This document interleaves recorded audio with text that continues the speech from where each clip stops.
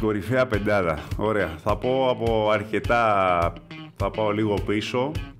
Θα πω καταρχήν το θείο μου, εντάξει, το Χάρη το Σολέα, ο οποίος ήταν ε, σύγχρονο 3-4, θα το βάλω στο 4. Εντάξει, μια θέση η οποία θεωρώ πολύ σημαντικό για το μπάσκετ.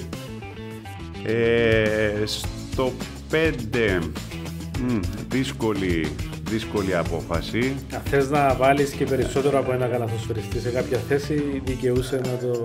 Καλά, κάτσε να βρω τον πρώτο και μετά βρίσκω για το δεύτερο. Ε, στο 5, νομίζω δικαιωματικά θα βάλω τον Πανάγιωτη τον Τρισόκα.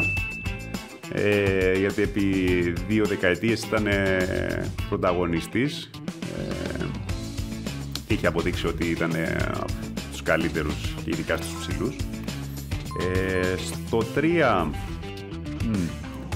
θα βάλω...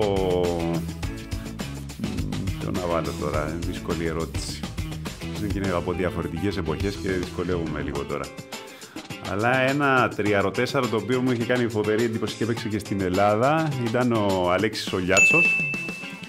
Ε, το θεωρώ πολύ καλό παιχνίδι. δεν είχε και αυτός τα προβλήματά του με τα γόνατά του, ίσως να ήταν και διαφορετική εξέλιξη. Ε, στο 2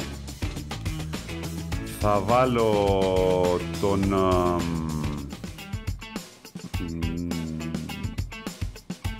θα βάλω το φίλο μου τον Γιώργο, τον νεοφύτου, για λόγω σχέσης. Σίγουρα όμως ήταν και ένας πάρα πολύ καλός ε, Ε, μπορεί να μην είχε πρωταγωνιστικό ο, ρόλο, αλλά το ρόλο του τον ήξερε ξεκάθαρα και αγωνιζόταν πάντα για το καλό της ομάδος και σίγουρα αν είχα να επιλέξω με μια, μια πεντάδα την οποία θα ήθελα να αγωνίζομαι σαν προπονητής, θα τον είχα πάντα μέσα. Ε, οπότε στο 2 θα βάλω τον Γιώργο για να παίζει και κανένα άμυνα. Ε, και στο Νάσο ε, που είναι και μια θέση στην οποία είχαμε πολλούς παίχτες θα βάλω το Χρήστο το Στυλιανίδη τον θεωρώ από τους καλύτερους αν όχι τον καλύτερο καθαρό αιμο άσο ο οποίος για την εποχή του ήταν πολύ μπροστά ε, και έκανε εξαιρετική καριέρα